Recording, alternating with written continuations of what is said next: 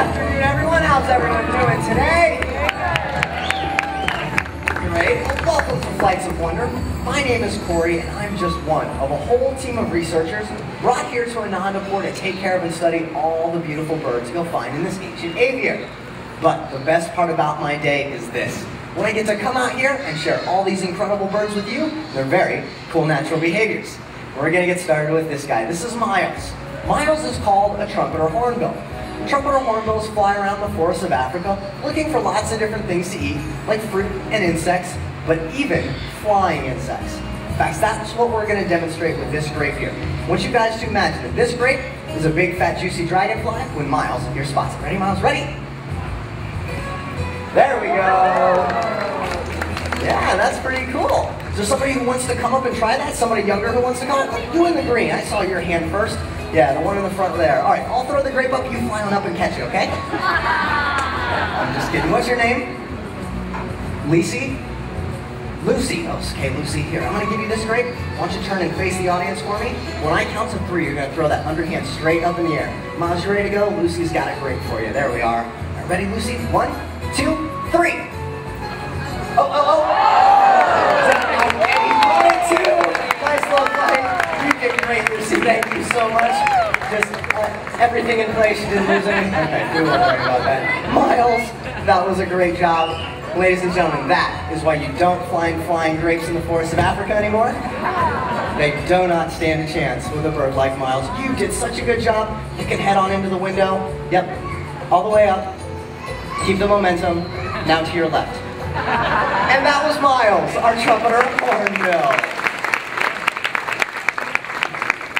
Oh guys, I am glad you liked Miles because we have a lot of very cool birds for you to see today.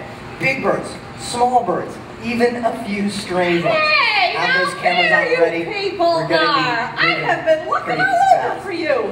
Let's review this again, shall we, folks? Uh, I am the tour guide. This is the flag. You're supposed to follow the flag. Uh, excuse me. All right. Can I help you? Uh, no, I was just looking for my tour group. Oh, All right, folks, let's No, review. F-L-A-G. That's the way you follow me, the flag. The flag. Everyone, hey. Hey. Hi. Hi. We just started a show here. Uh, oh, you're doing a show? Yeah. Oh, is this the Lion King? Arr. Are you Mufasa? Arr. Do I look like Mufasa? Yeah, maybe a little bit with the hair. Who are you? Who am I? Why, The goddess of all things tourist. I'm Guano Jane. Yeah, yeah, yeah. You're kidding me. I'm not kidding. You're Guano Jane. Uh-huh. Famous traveler, explorer, adventurer, that Guano Jane? Yep, shorts model too. Very, very nice. Yeah, guys, she is a legend around here. Hey, my name is Corey. I'm nice one of the researchers here. Nice to meet you, Corey. Nice to meet you. Hey, I have a wonderful idea. So this is your tour group, right? Uh-huh. Well, since they're already seated in the theater, you're up here on stage. Why don't you stay and help us with the show? Really? Yeah, you could be our celebrity guest. Oh, well, yeah, sure. That sounds like fun. That's great. Guano Jane's gonna stay and help us with the birds. Wait, wait, this is awesome. And you guys will love our next Wait, wait, wait, wait. We're birds. Birds? Yeah, it's a free-flighted bird show. Flights It of. Wonder. Oh, look at that. What? Oh, oh, you know, I, oh, I just remembered something. What? Um, we're busy. What, what do you mean you're busy? Uh, I mean, we're gonna go. Ah! What? Ah! Ah! Oh, ah! Jane, ah, Jane, it's it's a chicken. Did you see that thing that was after me? It was not. Yeah, it had a foul look in its eyes. What- What's going on? You don't understand, Corey. I have a serious condition. That's obvious. Yeah. No, I have fob. I I don't know what fob is. Fob, fear of birds. Oh, come on, Jane. You travel the world. Birds are everywhere. Hey, touch me. Oh, Look at that. no. Hey. This is Poe. Hey. oh, hey, that's Stop. Hey. Stop. Come back here. Stop! People, Uh-oh. do not follow that flag. All right, get it, Corey. Get it. Uh, did you need that, Jane? Um, hello, I'm a tour guide. Nobody's gonna follow a stick. Probably not. Take it as a sign. A sign? Sign you should stay. Nah, I don't think so. Oh, on. You guys want Guano Jane to stay, right? Yeah. I like you people. All right, I'll stay. But you know what I want to see? What's that? I want to see one of those birdies on a bicycle. Yeah, get a Oh. bird ride bike. Jane, we, we don't have any birds riding bicycles here. Why not? Well, we like to focus on the natural behavior of the birds. Yeah, well, what's more natural than a bird on a bike? Jane, a natural behavior, something you see out in the wild. Oh, yeah. You've seen that Uh huh. in the wild. Uh huh. When? When I went to a Rolling Stones concert, I saw a lot of things that day. Okay, okay, okay. No, no birds on bikes. I've got a great parrot though. I'm gonna bring him center stage. Everyone's gonna love him. you're, you're gonna bring him out here? Yes. All right, you know, I need a place to hide. You're, you're hiding from a parrot? Yeah, could you help me out? All right. Why don't? Oh, why don't you hide by the tree over there? All right, will I be safe? Sure. Birds hate trees. Jane, I need your help though, real quick. I need you to pick someone from your tour group to come up and help us out. Yeah. Okay, I need someone between the ages of 8 and 10 years old Yeah. who wants to come up on stage, but they have to be very, very good at math. But I have to be good at math. You young lady in the green, you want to come on up here? Come on all the way there. There we go, all the way to the end. Now, how many of you have heard of talking parrots before? I'm sure a number of you have. What you may not know, talking is actually a natural behavior for parrots. But see, they're not talking the way you and I are talking. What they're doing is they're copying or mimicking the sounds they hear in their environment. Now, parrot in the wild, they may mimic the, the sounds of the other birds in their flock, but the parrot that lives in the home, thank you Miranda, parrot in the home will often mimic the sounds that we make, and sometimes that sounds a lot like talking. Now, I have a great mimicker here. His name is Keebler. He's an African gray parrot, but he likes to introduce himself. Can you say, hi, Keebler? Hi, Keebler. Yeah, there's some of that mimicry there. All right, Jane, who do we have? Can you say your name right in the microphone? Carly. Carly! Give her a big round of applause. Okay, Carly, here's what we're going to do. We're going to have a math competition between you and Keebler here. Mm-hmm. All you have to do is answer into your microphone before Keebler answers into his. Got it? Okay, let's get started. All right, Carly, Keebler. First question. What is 1 plus 3? Four. Good one, Carly. Not bad. But the bird was fast. The bird was fast. All right, let's, let's, let's keep going. Let's try another one. Uh, let's try this one. Let's do 7 minus 3. He was fast. He's real quick. It isn't was he? fast, Carly. Okay. You know, we'll, do a, we'll do a little tougher question. People will have to think a little bit. All right, here let's go. try this one. Let's do 12 divided by 3. Divided bys are harder, aren't they? They're hard. Carly, you seem to be having a good time. Here's what we'll do. We'll throw out all those questions. We'll just do one more for the grand prize. Winner take all. You guys think Carly can do it, right? Yeah, come on, Carly! Uh, here we go, ready? Last question for the grand prize. Carly, Keebler, what is 2 plus 2? Four. Yeah! Right there! You did it, Carly. You win the grand prize. It's a sunflower seed. Hey, you know what? That's worth about eight dollars out in the park. Carly, we're just kidding with it. Yeah, you're much better at math than Keebler is. Watch this. Hey, Keebler, what's 100 plus 3? Silly bird, it's hundred and four. Anyway, yeah, Keebler here, he's smart, but he doesn't know math. See, what he knows are cues. Yeah, every time I want Keebler here to say the number 4, all I do is say his cue, which happens to be the number 3. Yeah, see how that works? No, I bet it'll even work if I say something that just sounds like his cue. Hey, Keebler, what would you say if you hit your golf ball over a tree? That works if you think about it. Let's give Carly a nice round of applause. Take bow, young lady, take. Good job, that guy was good job. I tell you what, that bird's amazing. He is, isn't he? Yeah, but everybody sees him and they think, I want to go get a bird like that. Oh, well, I can see why you'd say that. Parrots up on stage, they look like a lot of fun. But to tell you the truth, they are a very difficult pet to have in the household. They are. Oh, yeah. Why? There's lots of reasons. They fight really hard, scream incredibly loud. They're also a very huge commitment. See, a parrot the size of Keebler could live to be 60 years old. Wow. Yeah, but I didn't know they were so smart. Oh yeah, there are a lot of smart birds out there. You want to meet another smart parrot? You gonna bring it out here? Bring him right out here. Right out here? I'm gonna go by the tree. Okay, the rest of us, we'll meet Foster. Now, Foster's called a rose-breasted cockatoo. There he is. Where they're found in Australia, they're often called galahs. Now, to show how smart Foster here is, I'm gonna need another volunteer. But this time, I need an adult with a dollar bill. Is there an adult? with- Man, you shot right up. All right, you probably want to put the baby down. Yeah. All right, all I need is a dollar from you. Borrowing from the neighbors, that is an excellent idea. All right, once you have that, oh, you can stay right where you're at. All we need is your money. Yeah, go ahead and fold that in half for me, and then fold it in half one more time to make a nice tight rectangle. Perfect. Hold that between your fingers and put your arms straight out to the side. All right, Foster, you see it out there? He knows what to do. He's gonna fly out. Grab that dollar, bring it to me. Now where's it go? Right in the pocket. Excellent work, Foster. Thank you, miss. Enjoy the show.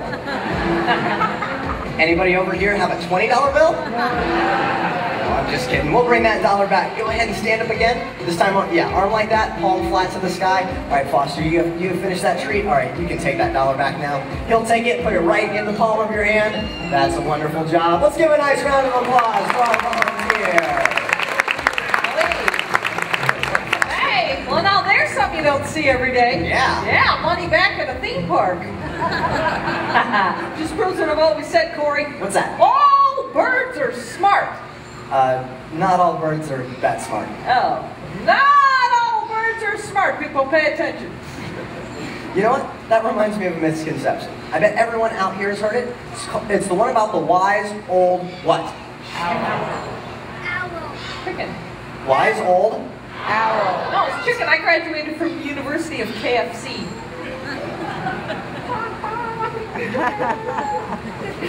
You guys are right. It's the wise old owl. See, owls, not as smart as people believe they are. Yeah, they don't need to be. They're only as smart as they need to be to survive. And besides, intelligence isn't everything. Right, Jane? Four. Good answer. Come on up here. I need your help with this owl. What do you need? I need you to pick two more people to, uh, to come up on stage. I need two people with cameras or video cameras who want to come up on stage to get the photo opportunity of a lifetime. Hold those have? What do we cameras up have? You sit right there in the gray with the, uh, yep, with the hammer. Come on this way. And you man in the stripes. Come on this way. Get all the way down to the end for me. Now, as I said, owls, not as smart as people believe they are. They don't need to be. They have some incredible adaptations to help them survive, even thrive during the nighttime. For one, those very, very large eyes helps them see in moonlight or starlight.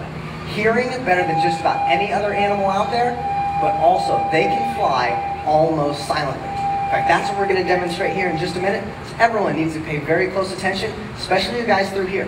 This is going to be our Raptor runway, so let's make sure it stays clear. All right, Jane, who do we have? We have Cindy and Jason. Give them a big round of applause. Right, Cindy and Jason, why don't you take a seat on this box facing the audience for me? There we go. All right, so Jason, uh, video camera? Yeah, just go ahead. You can record the whole thing. Just keep it on a wide angle lens. If you zoom in, you'll miss the wingspan. Cindy, it's a little bit different. I'm going to call an owl from this window to my left. Okay. He's going to fly out over everyone's head, land on the stump in the back where you see Miranda. All right, so here's where that camera comes in. Go ahead and focus it right about here. Okay, get that up and ready. Because once he gets back he's going to turn around make his way up to stage. You're going to try and get that photo in his flight path. So Cindy, the point that he gets here, that's when you want to snap that shutter. Then both of you guys get those cameras out of the way quick, just before that impact. Yeah, I'm just kidding. There's no impact. The last second, he'll swoop up over your heads, land in this stump right behind you. It's close, and he very rarely misses. Hmm. Okay, let's meet him. His name is JJ. He's a great horned owl. Yeah, he's gonna come out of this window right there and all the way to the back. There we go. Yeah, great horned owls are one of the most abundant species owl found in North America. Yeah, and this guy, he's gonna head right up here in a second. Ready? Yeah! Did you guys get it? Yeah? Excellent. Why don't you come over here before you really get it? Yeah, you don't want to sit under an owl for too long. Yeah, if you guys want to stop here, you can get some more footage, take another shot of this bird that just flew right over your head. Hey, JJ, why don't you look over here? There, that's a nice picture there. Excellent job. Once again, JJ, great horn owl. You two did a wonderful job. Thank you so much. Let's give a nice round of applause for our volunteers. Get it? Awesome. Hey, they were brave, huh? They were really brave. Well, I know, amazing. When are you going to be that brave? Yeah, I think our next bird will help you. Yeah? It's got a really cool natural behavior. Yeah, you're gonna love it, but I need this. Oh, what is that? It's a fake lizard. Oh. Is it gonna sell us car insurance? You know what? Let's name the lizard after you. Let's name her Little Jane. How about that? Oh, that's nice. Okay, so everyone imagine that little Jane here is a real live lizard. He's down in the grasslands of South America, basking on his rock, uh, minding his own business, when along comes Sluggo, Oh. the red-legged Seriema. Yeah, Sluggo's gonna sneak up on little Jane there, sneak up, grab her, and Bam! slam her, just hey! like that. What was that? That's what Seriemas do. So they eat things like rodents, reptiles, small animals. When they find one, they find a nice hard surface and pulverize it, just like that. Yeah, that does a couple things. One, it kills little Jane.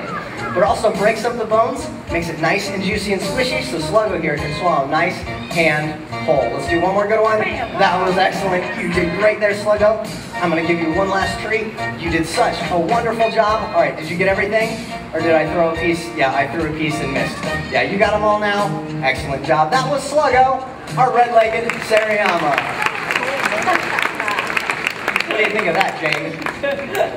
I think Sluggo shouldn't babysit. Wham!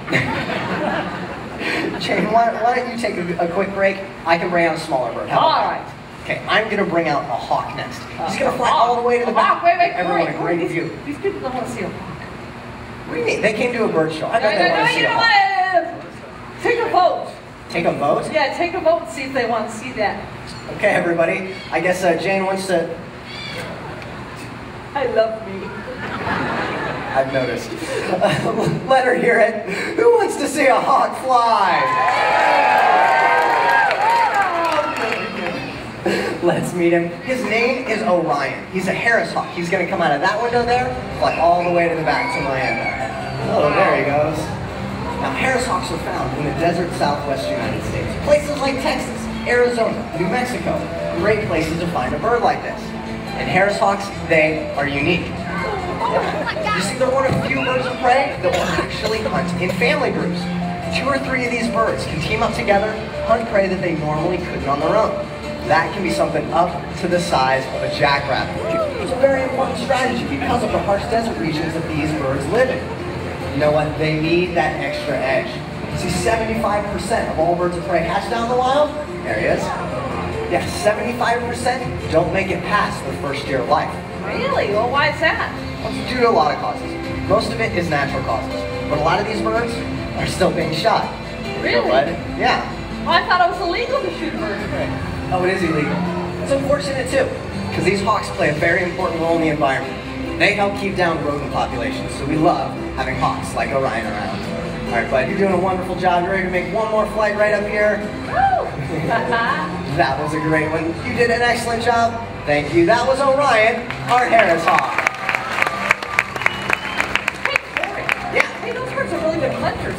Yeah, incredible hunters. Yeah, even a hawk as small as Orion might eat 800 to 1,000 mice in a single year. Well, you know, that explains it. What's that? I haven't seen a rat or a mouse around here in a really long time. Oh, yeah. We used to be infested with them. Yeah, all over the place. Big rats? Remember that? We had big Giant rats. rats. Everywhere. Crazy. But you know what? I am so glad that that rat problem is behind us. hey, those birds are really beneficial, aren't they? Oh yeah, beneficial and beautiful. Take our next bird, for example. Probably one of the most beautiful birds found in the African savannas. It's called an East African crowned crane. Oh, Coming out right over there with Adonis here. I'm gonna call this bird to stage and get a nice look. Six foot wingspan. All right, guys, those of you in this section, yeah, keep those heads low. He flies with that landing gear down. Yeah. Ladies and gentlemen, I'd like you to meet Frasier. Frasier Crane. Now, crown cranes get their name from that golden burst of feathers on the top of their head. They eat things like seeds, grains, but also insects. Insects will destroy farmers' crops, even spread disease. Oh. Hey, Jane, Yeah. I've got quite a bit of food here. Yeah. You want to feed Frasier? What? Yeah. Come on, you guys think Jane should feed the crane, right? Really? Put your hands into a bowl. Just like that. I'm gonna give you some food. Frasier will come right out of your hand. Right, you ready to go? Oh my gosh. Hi. A big bird. Wow, hey, Corey. I'd love to see one of these guys out in the wild. That'd be something. That would be an incredible sight to see. It's a tough one to find these days. Yeah, you see, crown crane numbers, they're dropping in the wild due to habitat loss, pollution, even poisoning. You can't imagine a world without a beautiful creature like that. That's why it's up to all of us to help protect these birds. Yeah, protect them we will, right, folks? Seems like it's really tough for the birds out there in the wild. Well, yeah, it can be tough on a lot of animals out there, not just birds. But I don't mean to bring you down. There are a lot of bright spots in the conservation horizon as well. Really? Yeah. Wow. Why don't you share a bright spot?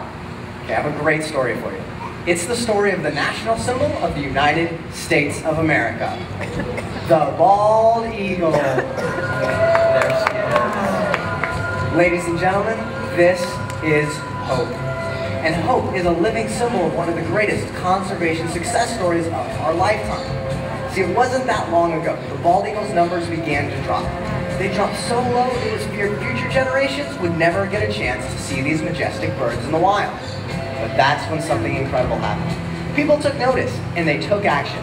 They started cleaning up the waterways where the bald eagles fish and stopped using a chemical pesticide called DDT was a major cause for this and many other birds' decline. Wow. So you mean people like these folks here, they made a difference for the bald eagle just by taking care of the environment? Exactly right, Jane. And people's efforts paid off. The bald eagle's numbers began to rise. They rose so high that just recently the bald eagle was officially removed from the endangered species list.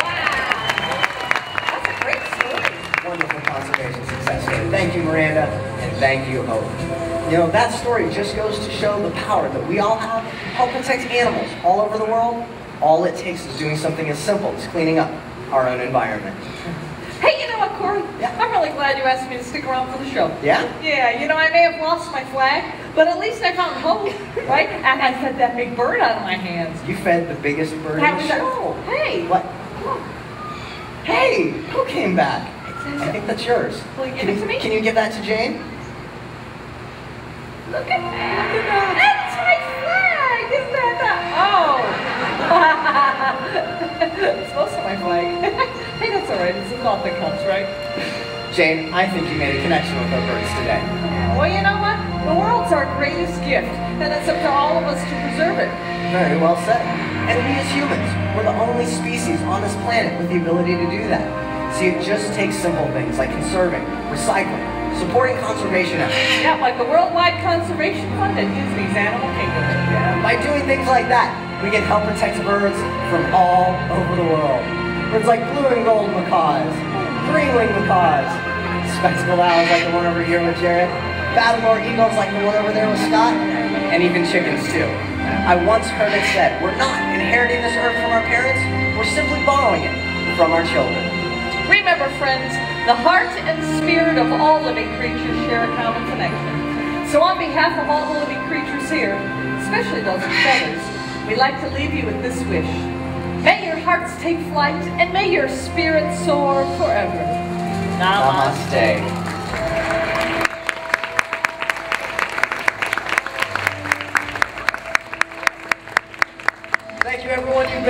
Audience. Feel free to come up to the edge of the stage, talk to the researchers, take pictures of our birds while they're still out. But most of all, have a wonderful rest of your day here in Anandapur. Bye-bye everyone. Bye.